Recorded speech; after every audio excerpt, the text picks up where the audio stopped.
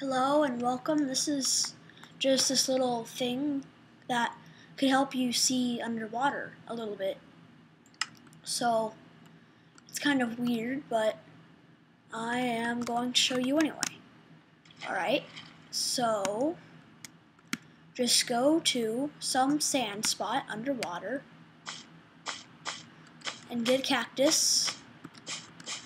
Make it go all the way up Make sure not to touch it if you're in, you're in survival mode. And voila! Cactus light. Nifty. Let's see, look.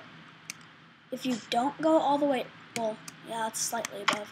If you don't go all the way up, it doesn't work. So that's a good on and off trigger, like, you could go. And, for easy harvesting, just kaboom! It's dark again. Alright, so that's my cactus light. That's just about it. Thank you for watching and good night.